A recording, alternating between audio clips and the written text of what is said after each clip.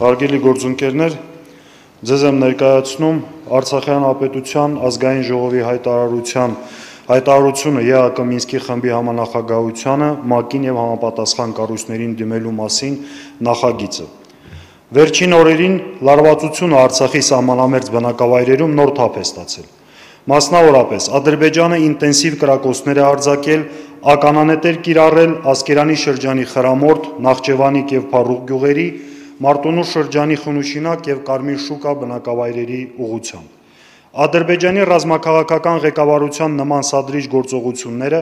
միտված են ինչպես Արցախի ժողովրդին ահաբեկելուն եւ մշտական տագնապի մեջ պահելուն, այնպես էլ ռուսական խաղաղապահ ուժերի առաքելության ու հեղինակության նսեմացմանը։ Արցախի հանրապետության ազգային ժողովը խստիվ դատապարտում է Արցախի նկատմամբ Ադրբեջանի ագրեսիվ եւ ահաբեկչական գործողությունները,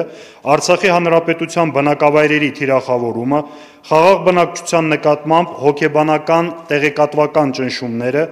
Արցախը բնական գազով ապահովող միակ գազատարի վերանորոգման աշխատանքներին խոչընդոտելը։ Այսպիսով Պաշտոնական Բաքուն շարունակում է իր հայատյաց քաղաքականությունը,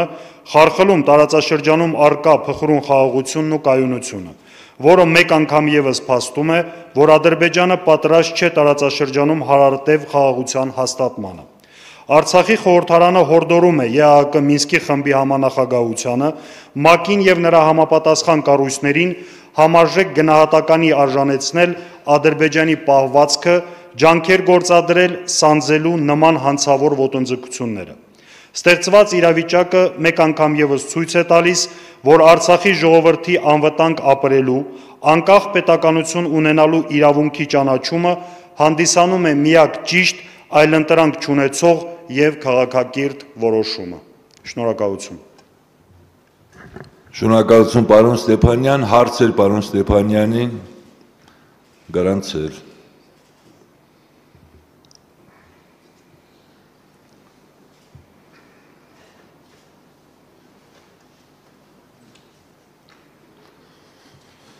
Շնորհակալություն պարոն Ստեփանյան, կարող եք զբաղեցնել ձեր տեղը։ Հիմա առաջարկում եմ լսել գլխադասային հանձնաժողովի եզրակացությունը ազգային ժողովի հայտարարության վերաբերյալ։ Խոսքը տրվում է ազգային ժողովի արտաքին հարաբերությունների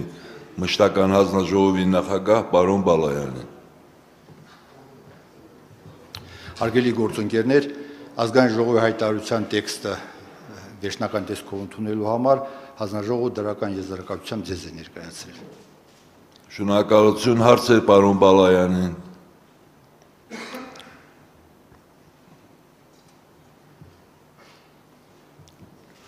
Շնորհակալություն պարոն Բալայան, կարող եք զբաղեցնել ձեր տեղը։ Մտքերի փոխանակություն, եթե կա գրանցվել։